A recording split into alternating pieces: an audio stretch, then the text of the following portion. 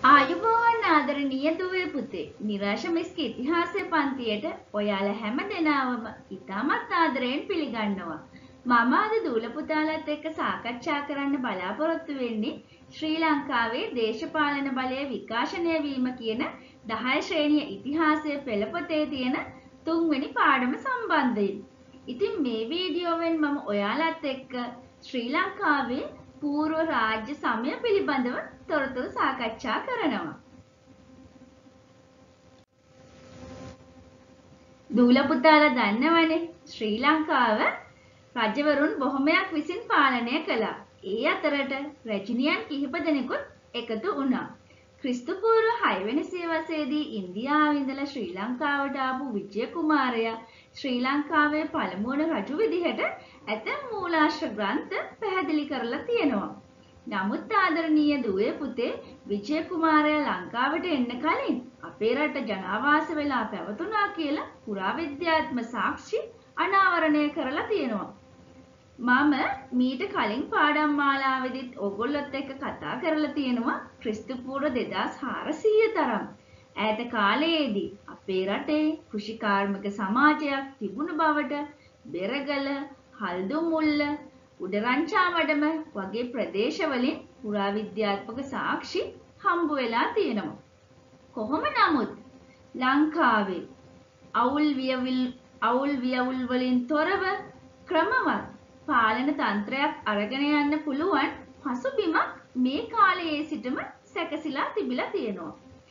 සාමාන්‍යයෙන් දරුවනේ රටක් පාලනය කරන්න බලය රජෙකුට හෝ රැජිනියකට ලබා දෙන්නේ ඒ රටේ ඉන්න මහජනතාව විසින්. ඉතින් ජනතාවගේ කැමැත්තෙන් රාජ්‍යත්වයට පත්වෙන එම රජු මහා සම්මත වශයෙන් අතීතයේදී හඳුන්වනු ලැබුවා. ජනතාවගේ කැමැත්තකින් තොරව රජෙකුට හෝ රැජිනියකට පාලනය ගෙන යාම පහසු වෙන්නේ නැහැ. එවැනි අවස්ථාවලදී ඔවුන් බලයෙන් පහ කිරීමට ජනතාව පියවර ගත්ත ආකාරයත් අපේ ඉතිහාසයෙන් අපිට පැහැදිලිව පෙන්눔 කරනවා. ඉතින් ආදරණීය දරුවනේ මේ පාඩමේදී මම දූල පුතාලත් එක්ක සාකච්ඡා කරන්න බලාපොරොත්තු වෙන්නේ ශ්‍රී ලංකාවේ රාජ්‍යත්වය ඇතිවීමට පෙර ශ්‍රී ලංකාවේ රාජ්‍යත්වය ඇතිවීමට පෙර ලංකාවේ තිබුණා වූ පාලන තන්ත්‍රය පිළිබඳවයි. අපි එය పూర్ව රාජ්‍ය සමය කියලා හඳුන්වනවා. ශ්‍රී ලංකාවේ රාජ්‍යත්වය බිහි වෙන්න කලින් රට පාලනය කිරීමට අදාළව පැවති ස්වરૂපයන් සියල්ල పూర్ව රාජ්‍ය සමය විදිහට අපිට හඳුනා ගැනීමේ හැකියාව තියෙනවා. ඉතින් ආදරණීය දරුවනේ මේ పూర్ව රාජ්‍ය සමයේදී අපේ රට පාලනය කරන්න නිශ්චිත පාලකයෙක් හිටියේ නෑ. ඒ වෙනුවට කුඩා ප්‍රදේශවල බලය පවත්වාගෙන ගිය පත්පොහොසත්කම් ඇති ප්‍රභූන් පිළිබඳව අපිට ශිලාලේඛනමය සාක්ෂි හමු වෙලා තියෙනවා. මේ බලන්න දුවේ පුතේ පූර්ව රාජ්‍ය සමයේදී පාලනයට සහභාගී වූවන් පිළිබඳව මම මේ ස්ලයිඩ් එකේ දාලා තියෙනවා. ගෘහපති, ගමික, පරුමකවරු කියන තුන් ගොල්ලන්ම අපේ රටේ පාලන කටයුතු සඳහා මේ පූර්ව රාජ්‍ය සමයේදී දායක වෙලා තියෙන ආකාරය මම ඉදිරියේදී ඔයාලට පැහැදිලි කරලා දෙන්නම්. බලන්න දුවේ පුතේ ගෘහපති ශිලාලේඛනවල ගහපති කියලා හඳුන්වලා තියෙනවා. ඉතින් ගෘහපති ගෘහමූලික කියලත් වර්තමානයේ අපි කියනවා නේද? පවුලක ප්‍රධානියා තමයි ගෘහපති වශයෙන් හඳුන්වනු ලබන්නේ. ආදරණීය දරුවනේ අවම වශයෙන් ක්‍රිස්තු පූර්ව 900 පමණ වන විට අපේ රටේ වියලි කලාප ප්‍රදේශවල ග්‍රාමීය ජනාවාස පැතිරිලා ගිහිල්ලා තිබුණා. මේ ගම්වල පවුල් පහක් හයක් වැඩිම වශයෙන් 30ක් ආදී වශයෙන් ජීවත් වෙච්ච බව සලකන්න පුළුවන්. ඉතින් මේ ගමේ ජීවත් වෙන හැම පවුලකටම ගෘහපතියෙක් හිටියා. පවුලේ කටයුතු කෙරෙහි දායකත්වය දක්වන පවුල නියෝජනය කරන පවුලේ කටයුතු වලදී මූලිකත්වයගෙන ක්‍රියා කරන පුද්ගලයා තමයි ගෘහපතියා. එහෙම නැත්නම් ගහපති වශයෙන් අපි හඳුන්වනු ලැබුවේ. ක්‍රිස්තු පූර්ව 250ට පමණ ආසන්න කාලයවලදී සෙල්ලිපිවල මොවුන් ගහපති වශයෙන් හඳුන්වලා දීලා තියෙනවා. ඒ වගේම දරුවනේ මේ අනුරාධපුරයේ තියෙන පෙරිය පුලියන් කුලම කියන ප්‍රදේශයේ අපිට හම්බ වෙන සෙල්ලිපියක සුමනගේ පවුලට අයත් ලෝහ වැඩ රැකියාව සඳහා කරපු ගෘහපතියෙක් භික්ෂූන් වහන්සේලාගේ සැප පහසුව වෙනුවෙන් ගල් ලෙනක් පිරිසිදු කරලා පූජා කළ බව සඳහන් වෙලා තියෙනවා. ඉතින් මේ අනුව අපිට පෙනී යන්නේ පවුලක් නියෝජනය කරන ගෘහපතියා විසින් සමාජයේ සංවර්ධනයට දායකත්වය දක්වපු ආකාරය. ඒ වගේම ගමක සිද්ධ වෙන පොදු කටයුතු වලදී පවුල නියෝජනය කළෙත් මේ කියන ගෘහපතියා විසින්. දුවේ පුතේ මීළඟට අපි බලමු ගමික පිළිබඳව. පැරණි ගම්වල ජීවත් වෙච්ච ගම් ප්‍රධානයෙන් තමයි ගමික වශයෙන් හඳුන්වලා තියෙන්නේ. සෙල්ලිපිවල සහ අටුවා කතාවල ගමික නැතහොත් ග්‍රාමික යන නමින් මොවුන්ම හඳුන්වලා තියෙනවා. දරුවනේ ගමක් නියෝජනය කරන්න නායකයෙක්ව තෝරා පත් කරගත්තේ ගෘහපතීන් අතරින්මයි.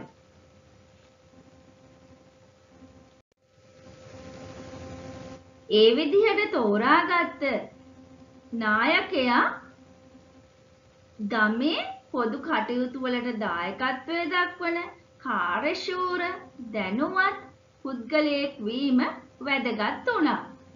පැරණි ගමක ජීවත් වෙච්ච දිලිඳු වැසියෙක් ඊළඟ කන්නයේ ලබා දෙන පොරොන්දුව පිට ඒ ගමේ ගමිකයාගෙන් වී මල්ලක් ණයට ඉල්ලාගත්ත පුවතක් ජාතකට්ට කතාවේ සඳහන් වෙනවා. මේ අනුව අපිට පෙනී යන්නේ ගමික කියන තනතුර දැරූ පුද්ගලයා යම් වත්පොහොසත්කමක් ඇතුව හිටපු පුද්ගලයෙක් බවයි. ඒ වගේම ආදරණීය දරුවනේ ඔහු ගමේ ජීවත් වූ ගැමියන්ගේ සුබ සාධනය වෙනුවෙන් කටයුතු කරලා තියෙනවා. කණ්ඩායමක් නිවැරදිව හසුරා ගන්න නම් කණ්ඩායමේ පොදු විශ්වාසය දිනාගත්ත පුද්ගලයෙක් ගමික බවට පත්වෙන්න ඕනේ. ඉතින් ගමේ ජීවත් වෙන ගෘහපතීන් සියලු දෙනාම එක් වෙලා ගම වෙනුවෙන් තීරණ ගන්න පුළුවන් කෙනෙක්ව තමයි මේ ගමික බවට පත් කරගන්නේ. ඉතින් එහෙම තෝරාගන්න ගමික ධනවත් බලවත් දැනුමෙන් යුක්ත පුද්ගලයෙක් බවට පත් වුණා. ගමිකයන් ගෘහපතීන් අතරින්ම තෝරාගත්ත බව පුතේ බුද්ධඝෝෂ හාමුදුරුවන්ගේ සමන්තපාසාදිකාව කියන කෘතියේ සඳහන් වෙලා තියෙනවා. දැන් මම මේ ස්ලයිඩ් එකෙන් දූල පුතාලට පෙන්වන්නේ ගමිකගේ නායකත්වය හා කාර්යයන් පිළිබඳවයි. අපිට විභාග ප්‍රශ්න පත්‍රයේ ඇතැම් අවස්ථාවලදී ගමිකගේ නායකත්වය සහ කාර්යයන් පිළිබඳව වෙන වෙනම විස්තර කරන්න කියලා දක්වලා තියෙනවා. ඉතින් දුවේ පුතේ නායකත්වය පැත්තෙන් ගත්තොත් ගම් ප්‍රධානි ගමක හිටපු ප්‍රධානිය තමයි ගමික වශයෙන් හඳුන්වනු ලබන්නේ. ගමිකව තෝරගන්නේ ගෘහපතීන් අතරින්මයි. ඒ වගේම ගමක පොදු විශ්වාසය දිනාගත්ත ධනවත් බලවත් අයෙක් තමයි ගමික බවට පත්වෙන්නේ. අපි දැන් බලමු ගමිකගේ කාර්යයන් මොනවද කියලා. ගමේ පොදු කටයුතු වලදී නායකත්වය ගැනීම, ගමේ වැව නඩත්තු කිරීම, ගමේ වැවෙන් ජලය බෙදා හැරීම, ගමේ ආරවුල් විසඳීම, ඒ වගේම ගමේ ආවාහ විවාහ කටයුතු කර දීම, තමන්ගේ ගම පමණක් නොවේ අනිකුත් ගම් සමගත් සුහදත්වය පවත්වාගෙන යාමෙන් යමින් කටයුතු කරන එක තමයි ගමිකගේ කාර්යයන් බවට පත් උනේ. ඉතින් මේ ගම් නායකයන් බිහි වෙලා ගමට නායකත්වය දීම පූර්ව රාජ්‍ය සමය තුළ දේශපාලන බලය වර්ධනය වීමේ එක් පියවරක් වශයෙන් අපිට හඳුනා ගන්න පුළුවන්.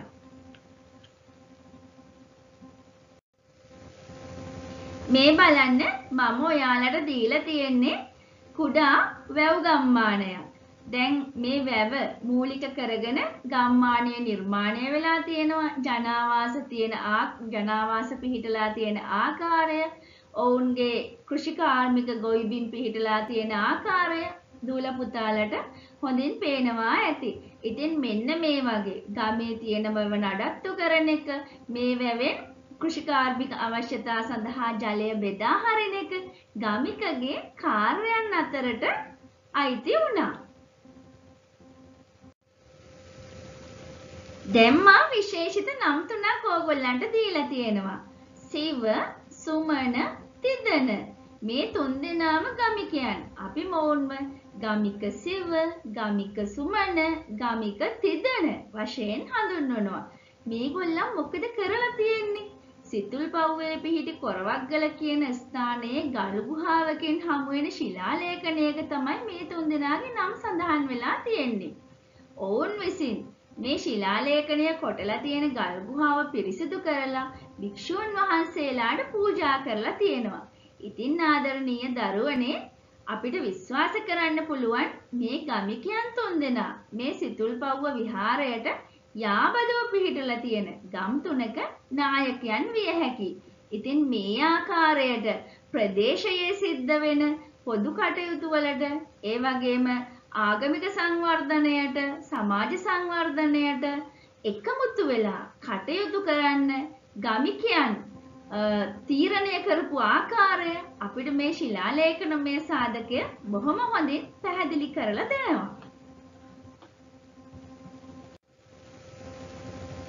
දැන් මම ඊළඟට කතා කරන්න යන්නේ පරුමකුවරු පිළිබඳව. පැරණි කාලයේ අපේ රටේ සමාජයේ දේශපාලන බලය වර්ධනය සම්බන්ධයෙන් වැදගත් අනතුරක් තමයි පරුමකවරු කියලා කියන්නේ. මෙයාලා ප්‍රභූ පැලැන්තියට අයත් පිරිසක්. ඔවුන්ගේ පාලන බලය හිමිවීම සිද්ධ වුණේ කොහොමද කියන එක පිළිබඳව මීළඟට අපි සාකච්ඡා කරමු.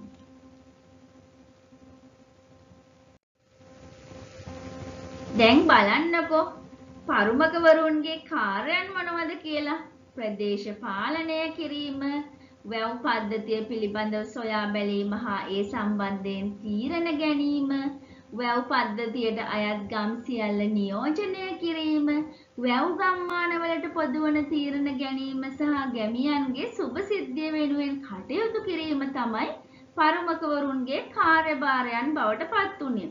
ඉතින් මේ පරුමකවරු කියන ප්‍රභූ පිරිස ප්‍රදේශ පාලනය කරමින් ඒ ප්‍රදේශවල ජීවත් වෙච්ච වැසියන්ගේ සුවදුක් සොයා බලමින් ඒ ප්‍රදේශ සංවර්ධනයට දායක වෙච්ච බව අපිට පැහැදිලි කරගන්න පුළුවන්.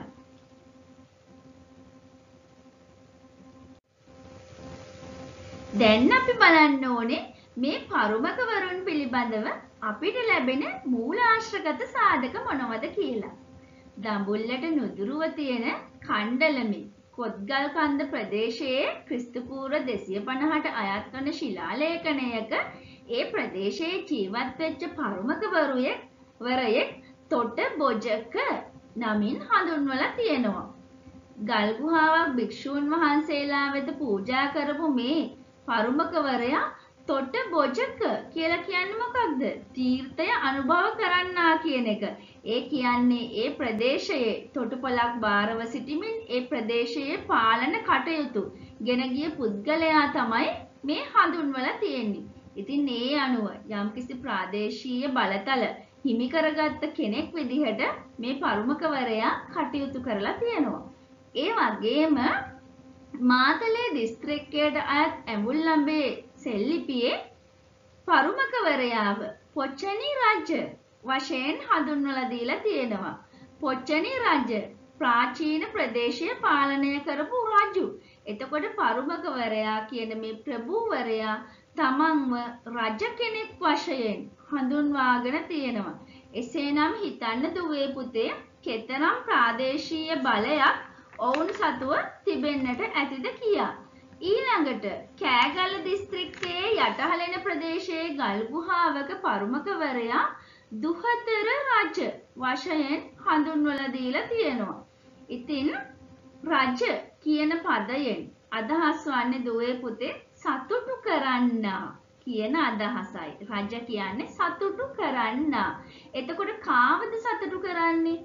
ජනතාවම තමයි සතුටු කරන්නේ නේද? ජනතාවව තමයි මේ රජු විසින් සතුටු කරන්නේ. එතකොට මේ ජනතාවගේ සුභ සිද්ධිය වෙනුවෙන් බොහොම අනලස්ව කාර්යශූරව ක්‍රියා කරපු ජනතාව සතුටු කරපු මේ පරුමකවරුන්ව රජ වශයෙන් හඳුන්වන්න ඒ කාලයේ උත්සුක වෙලා තියෙනවා.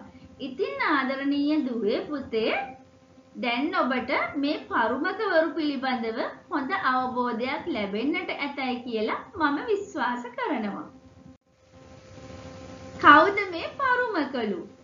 පරුමකවරුන් විදිහට පරුමකවරියන් විදිහට කාන්තාවන් කටයුතු කළ බව සමකාලීන ශිලාලේඛනමය සාධක අපිට හෙළිදරව් කරනවා. ප්‍රාදේශීය පාලනයට සම්බන්ධ වෙච්ච කාන්තාවන් තමයි දුවේ පුතේ පරුමකලු වශයෙන් හඳුන්වලා තියෙන්නේ.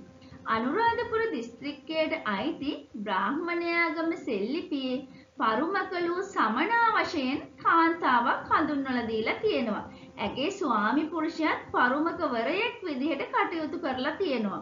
මේ පරුමකලු සමනා කියලා කියන්නේ පරුමක නදික කියන පුද්ගලයාගේ බිරිඳ වශයෙන් තමයි සඳහන් කරලා තියෙන්නේ. ඉතින් මේ අනුව අපිට පැහැදිලි වෙන්නේ දුවේ පුතේ සමකාලීනව පාලන කටයුතු සඳහා පුරුෂයන් සේම කාන්තාවන්ද ඉදිරිපත් වෙලා කටයුතු කළ බවයි.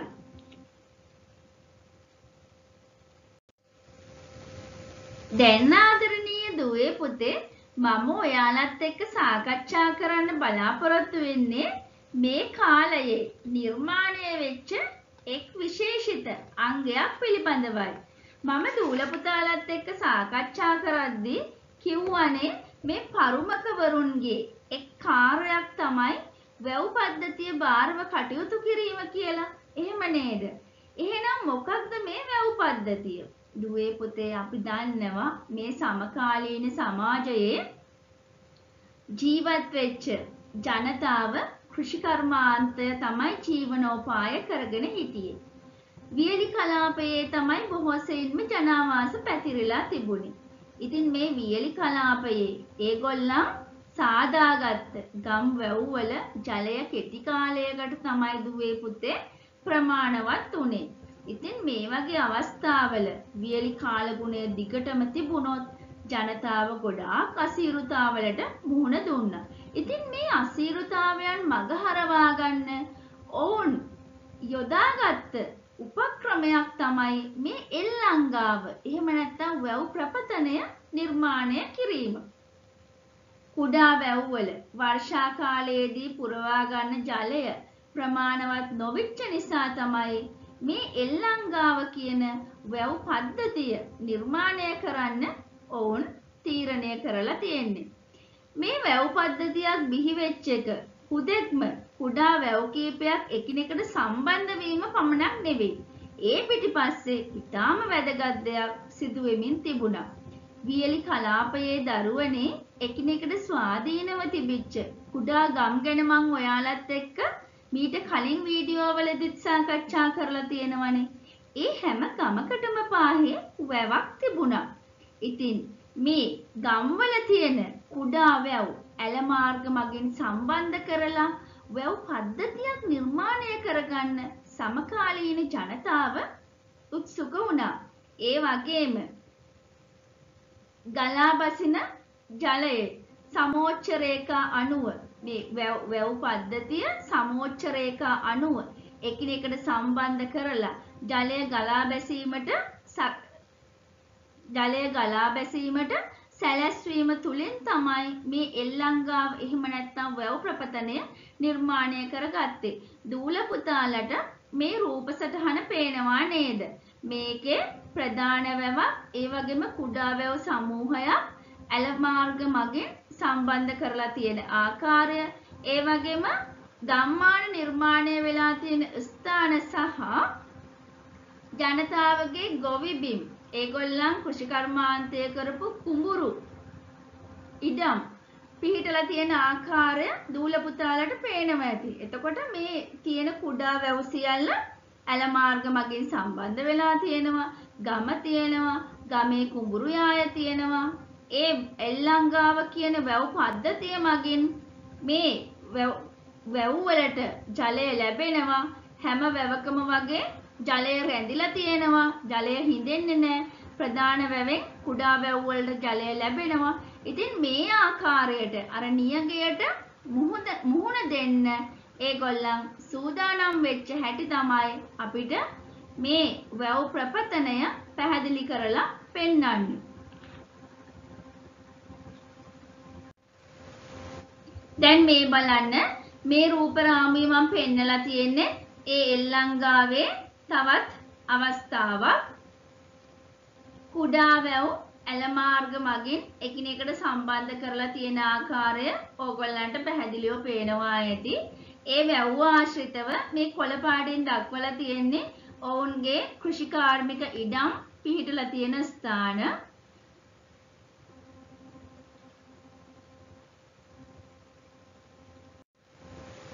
දැන් මේ එල්ලංගාව නිර්මාණය කිරීමේ අරමුණු කිහිපයක් තියෙනවා දරුවනේ.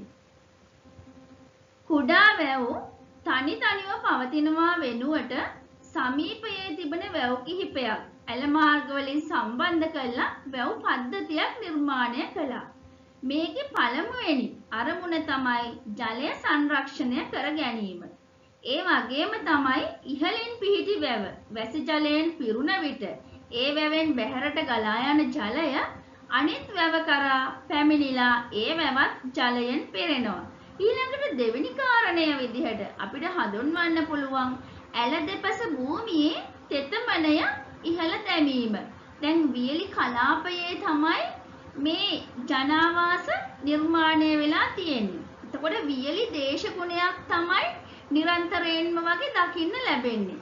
ඇල මාර්ග තනලා ඇල දෙපස භූමියේ තෙතමනේ ආරක්ෂා කරගත්තහම කෘෂිකාර්මික කටයුතු වලට යෝග්‍ය වන පරිසරයක් නිර්මාණය කරගන්න සමකාලීන ජනතාවට හැකියාව ලැබෙනවා. ඉතින් ඒක තමයි මේ එල්ලංගාව නිර්මාණය කිරීමේ අරමුණ විදිහට අපි දක්වන්නේ ජලය සංරක්ෂණය කර ගැනීමත් ඇලතපස භූමියේ තෙතමනය ඉහළ දමා ගැනීමත්.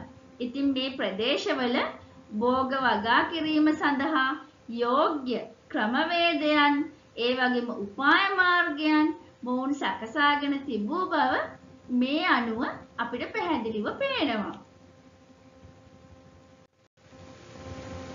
දැන් මම ඔයාලත් එක්ක කතා කරන්න බලාපොරොත්තු වෙන්නේ පරුමකවරුන්ගේ සුසාන භූමි පිළිබඳව. මම పూర్ව ඓතිහාසික යුගය පිළිබඳව සාකච්ඡා කරද්දී පරුමකවරුන්ගේ සුසාන භූමියක් විදිහට ඉබ්බන් කටුව සුසාන භූමිය ඔයාලට පෙන්නලා දුන්නා.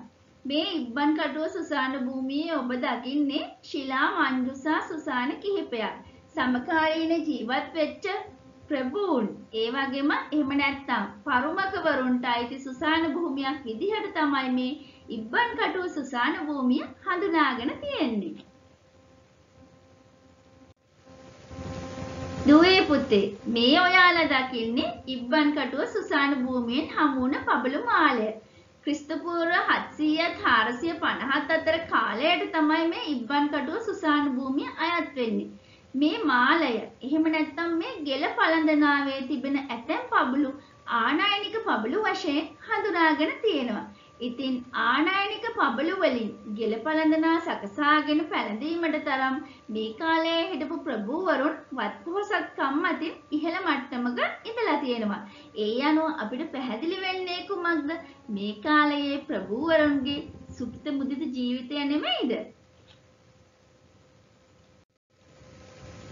ඉතින් ආදරණීය දරුවනේ රාජ්‍යත්වයේ වර්ධනය ගැන මීළඟ වීඩියෝවෙන් මම ඔයාලත් එක්ක සාකච්ඡා කරන්න බලාපොරොත්තු වෙනවා. ඒ අපේ පාඩමේ දෙවැනි කොටස. මේ වීඩියෝ වෙදි මම ඔයාලත් එක්ක පූර්ව රාජ්‍ය සමය, පූර්ව රාජ්‍ය සමයේ තිබුණු තනතුරු පරිපාලනය ක්‍රමවත්ව පවත්වාගෙන යාමට අනුගමනය කරපු ක්‍රියාමාර්ග පිළිබඳව ඔයාලත් එක්ක බොහෝ කරුණු සාකච්ඡා කළා. එහෙනම් රාජ්‍යත්වයේ වර්ධනයේ රසබර තොරතුරු සමගින් අපි මීළඟ වීඩියෝවෙන් හමුවෙමු. ඔයාලා හැමෝටම ආයුබෝවන්